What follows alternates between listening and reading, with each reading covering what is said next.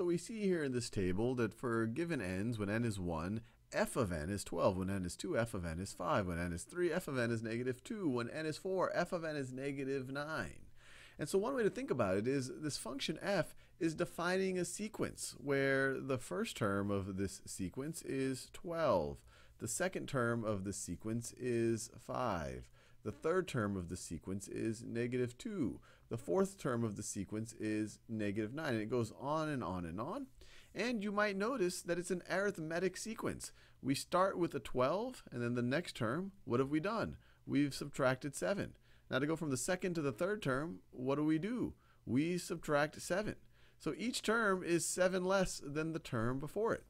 Now with that out of the way, see if you can define this function, this function of n, if you can define it explicitly. So figure out a, a, a function definition. So I want to figure out f of n is equal. I want you to figure out what this needs to be so that if you input n here, it gives you the appropriate f of n.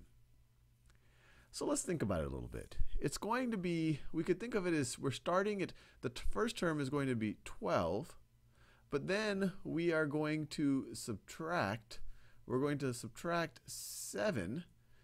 And what are we going to subtract 7? How many times are we going to subtract 7? So for the first term, we subtract 7 zero times, and so we just get 12. For the second term, we subtract 7 once. For the third term, we subtract 7 twice, 1 two times. For the fourth term, we subtract 7 three times.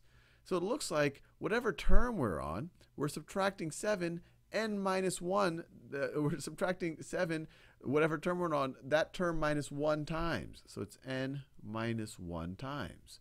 And let's see if this actually works out.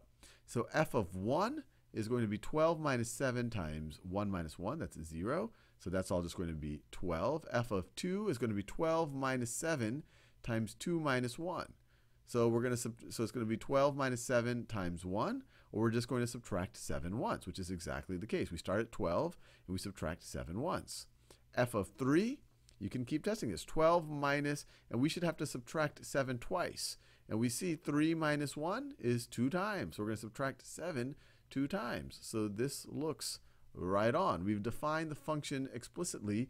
Uh, we've defined f explicitly for this sequence. Let's do another example here. So in this case, we have some function definitions already here. So you have your sequence. You could, it's kind of viewed in this table, or you could view it as the first term is negative 100, next term is negative 50, next term is 0, next term is 50. And it's very clear that this is also an arithmetic sequence.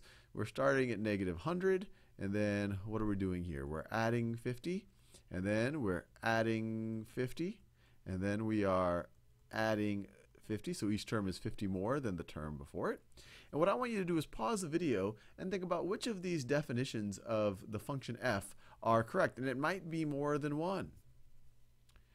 All right, so let's let's think about it. So this definition right over here, one way to think about it is saying, okay, I'm going to start at negative 100, and I'm going to add 50 n minus 1 times. Does this make sense? Well, for the first term, we're going to, if we start at negative 100, we don't want to add 50 at all. We want to add 50 zero times, and it works out because 1 minus 1 is going to be 0. So it checks out for n equals 1. Let's see, for n equals 2, you start at negative 100. I want to add 50 once. So I want to add I want to add 50 once. So this should be a 1. 2 minus 1, yep, it's a 1. We're adding 50, whatever this number is, whatever n is, we're adding 50, one less that number, that number of times. So for here, we're adding 50 twice. For when n is 4, we're adding 50 three times. And this one checks out. When n is 4, we're adding 50, 4 minus 1, three times. Negative 100 plus 50 times 3, or adding 53 times, adding 51, 2, 3 times, well, that gives you 50. So I like this one. Now let's see about this one over here. Negative 150 plus 50n. All right, that's one way of saying, so let's see, if we n is equal to 1, it's going to be negative, let me, actually, let me draw a table for this one. So if we have n and we have f of n, and this is going to be for this character right over here. So if n is 1, it's going to be negative 150 plus 50, which is negative, which is negative 100. Yep, that checks out. When n is 2, we get negative 150 plus 50 times 2. 50 times 2, which is going to be, this is 100, and then negative 150. This is going to be negative 50. When n is 3, and that checks out, of course. When n is 3, you get negative 150 plus 50 times 3, which is equal to 0. This checks out. This one over here is going to work. And you might say, well, hey, these formulas look different. But you can algebraically manipulate them to see that they're the, the that to see that they are the exact same thing.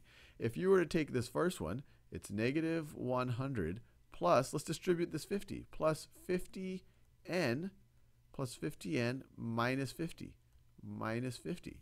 Well, negative 100 minus 50, that's negative 150, and then you have plus 50n. So these are algebraically the exact same definition for our function. Now what about this one here? Negative 100 plus 50n. Does this one work? Well, let's see. When n is equal to 1, this would be negative 100 plus 50, which is negative 50. Well, no, this doesn't work. We need to get a negative 100 here. So this one is not, not correct.